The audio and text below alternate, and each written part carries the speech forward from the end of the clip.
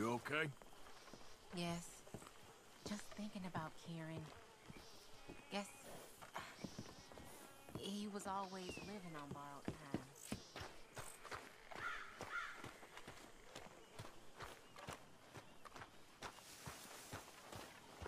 Arthur! Come up here! You okay, Miss Grimshaw? Oh, oh O'Driscoll's? Pinkertons? Is there anybody who doesn't know where we are at this point? I don't know what to tell you.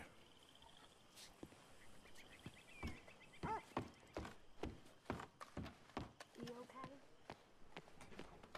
I'll be fine.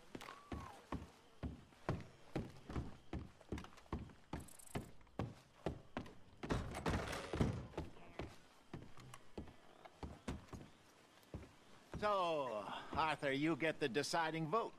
About what? We take an insult and scurry off like cockroaches?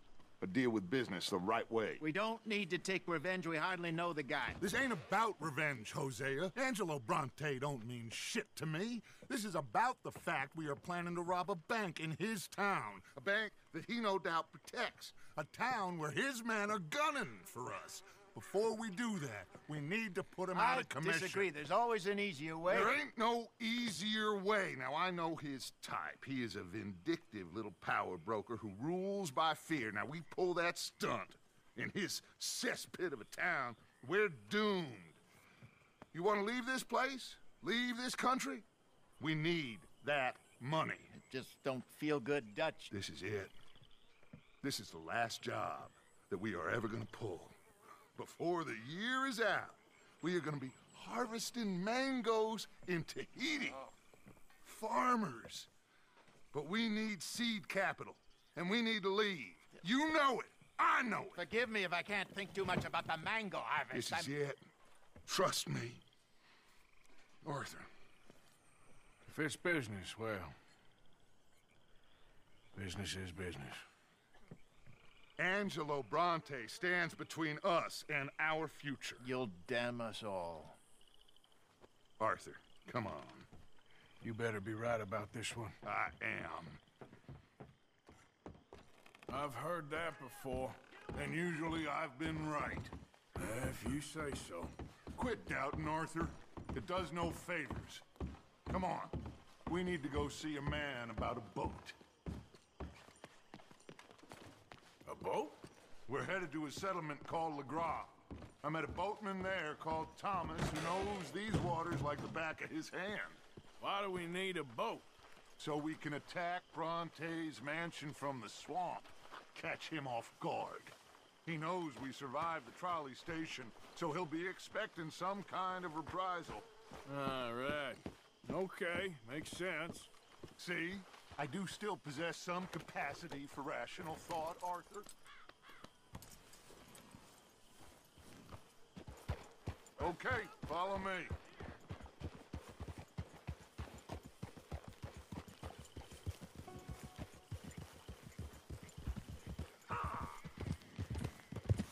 Thank you For what? for taking my side back there. It ain't about sides. Feels like Hosea's lost his spine. This move on Bronte, is it for the bank job or revenge for what happened at the trolley station? Both. Neither. What does it matter? We need to hit that bank. And Bronte has the police and just about everything else in Saint Denis in his back pocket. He also set us up. And lest we forget, took young Jack. I understand. Just got a lot of pots on the boil, given all the folks who's out gunning for us. You all seem to have forgotten how money is made and what it takes to support 20 people. Let alone what it takes to give 20 people a new life overseas. With all due respect, Dutch, is this Tahiti plan really gonna work out? You tell me, Arthur. Is it? Have some goddamn! I am bending over backwards to make a future for us! I know, but But, but, but, when did you become so small-minded? If you'd rather we break up the family, go our separate ways? Just tell me. Of course not. This isn't a prison camp. I am not forcing anybody to stay. So either we're in this together, working together to get out together, or we're not. There simply isn't a reality in which we do nothing and get everything. I know. You're right. Just feels like we're on borrowed time again. I mean, the O'Driscolls found us. Anyway, here we are. Let me do the talking.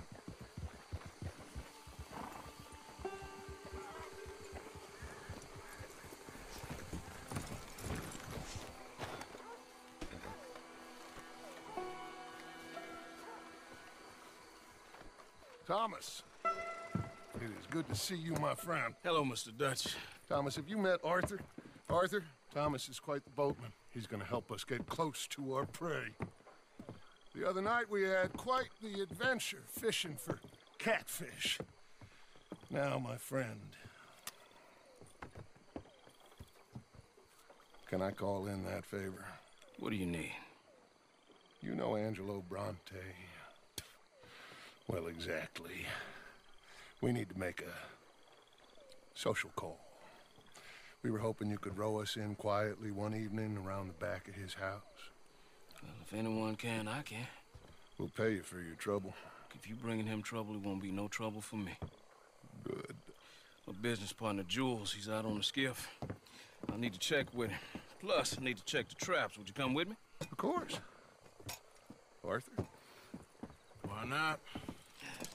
Shouldn't take too long if we can find it.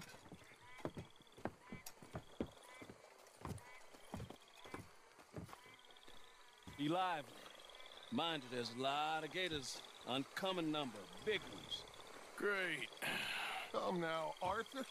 It'll take more than a prehistoric reptile to scare you, surely. I just want to see you meet your match when it comes to a, an aging predator with a big mouth, Dutch.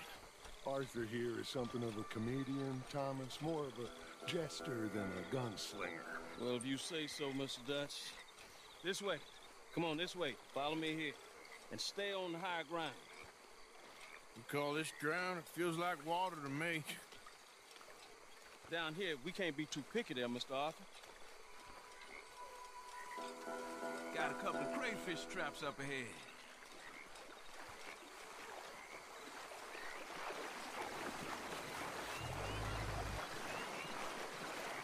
Dutch, you keep a lookout for company. Mr. Arthur, check the traps with me.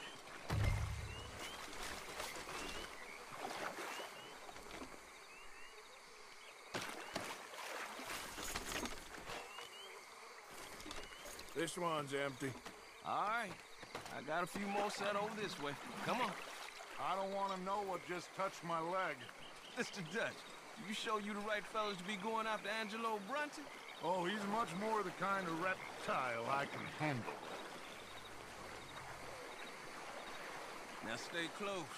Make sure you follow my line. Oh, I fully intend to, Thomas. You too, Mr. Arthur. You can see why eating in the swamp waiting hasn't caught on as a pastime, can't you? I love it out here. Peaceful. Nobody bothering you none. Except for the night folks sometimes. The night folk. Yep, some strange people around these parts. Wilder than the animals they are. Well, this just gets better and better.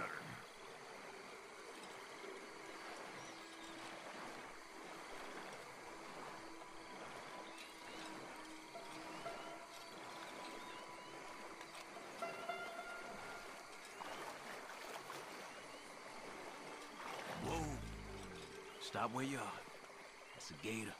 Just stay as still as you can.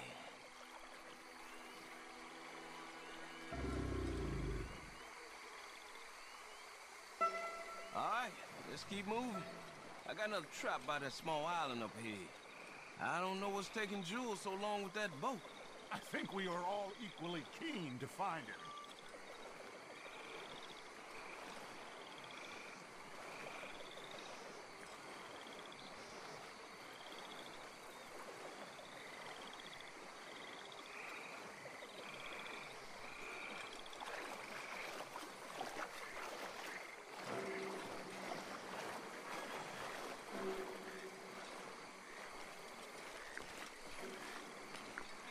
Here, Mr. Arthur. This trap is stuck in the mud. It happens.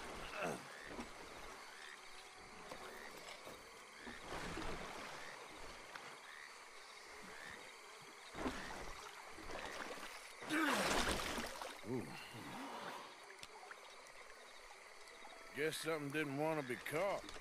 My gosh. So it's true. What is?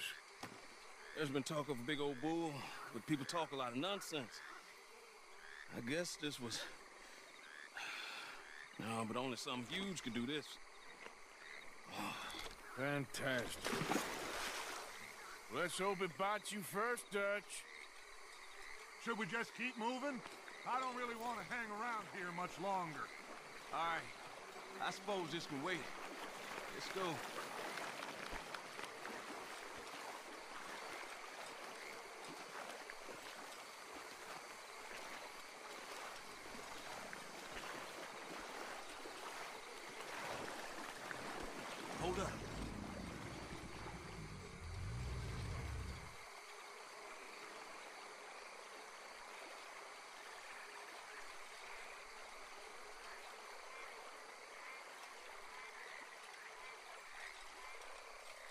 My God, there's no shortage of them. Good eating. Us or them? Exactly. Come on.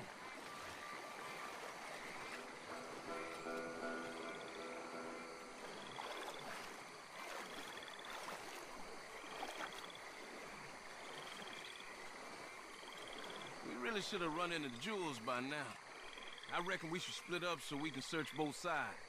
Okay, Arthur, since you appear so at home here, you take the right.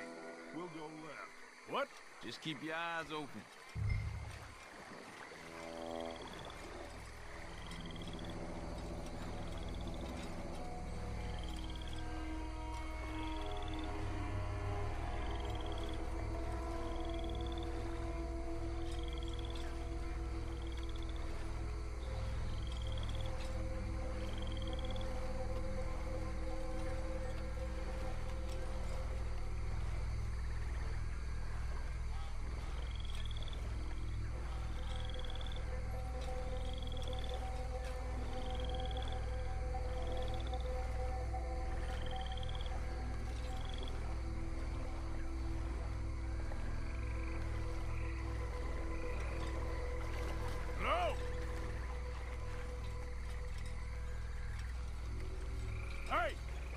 Someone there?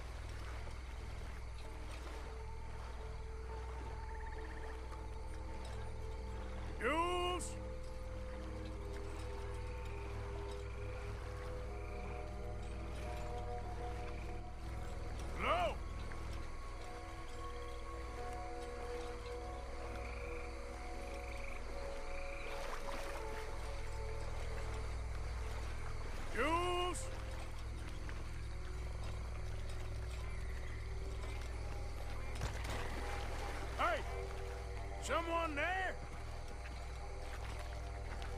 Jules? Hey! Someone there? Hello? That must be him.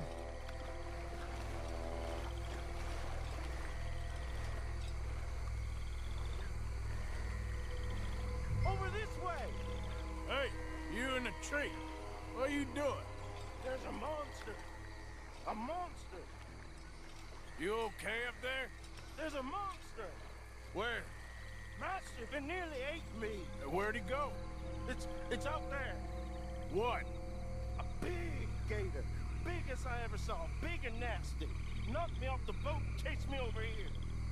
You must be Jules. Yes, Where is the boat? over there. I ran. I. Oh, Okay. Yeah. And, uh, where'd this monster swim off to? I think that way. Good luck shooting that thing. You'll need a cannon.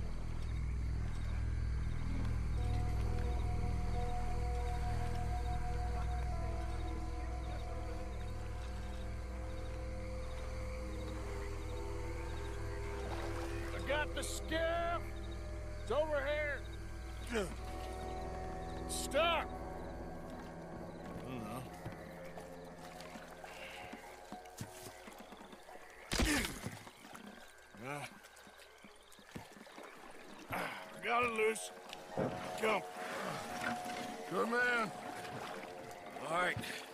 Back to the dock. Yes, please, let's go.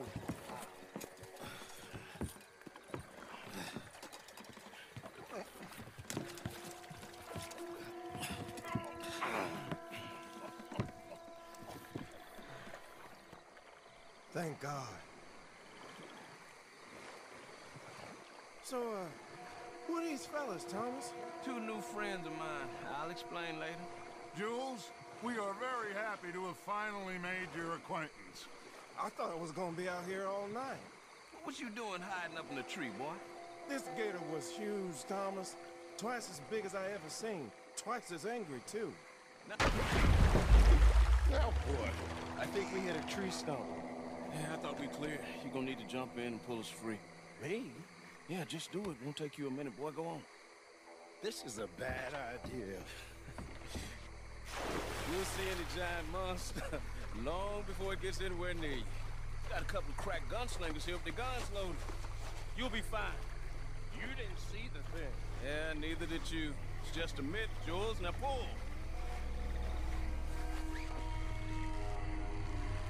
Come on, put your back into it.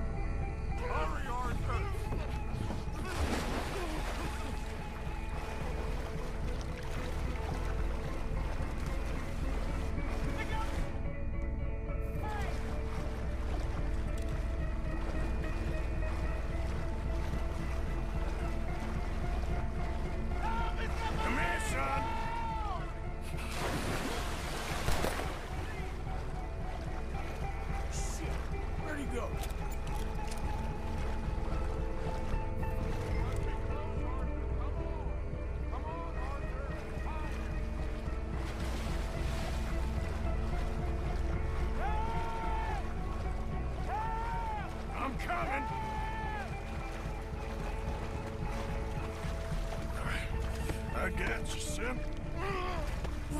I got you. Oh, God, no. Dutch! Shoot something!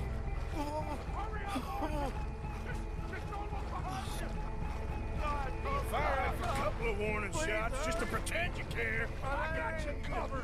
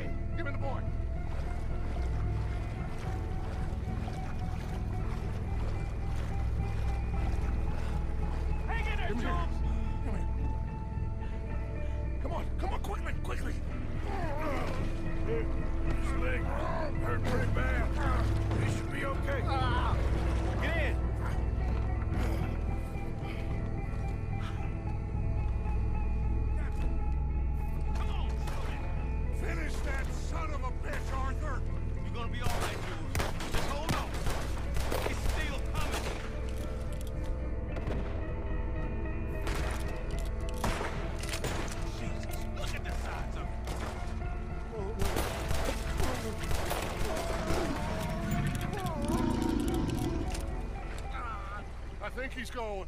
Shit, that is one big old gate. Oh, your boy doesn't look too good there. Here, take this. Try to stop the bleeding.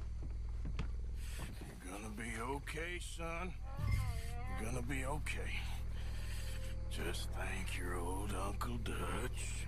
I heard that.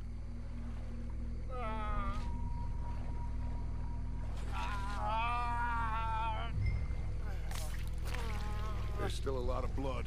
You need to put pressure on it.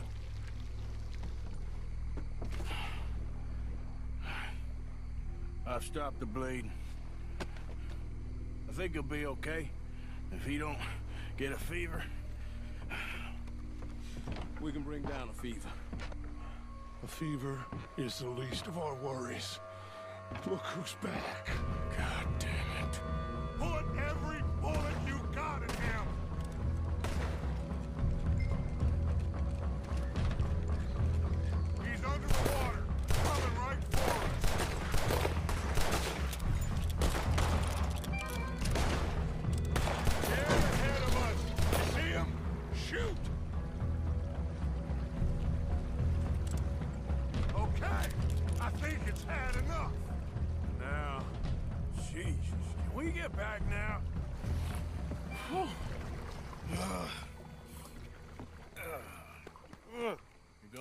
Okay, kid. Oh. Sorry, Jules.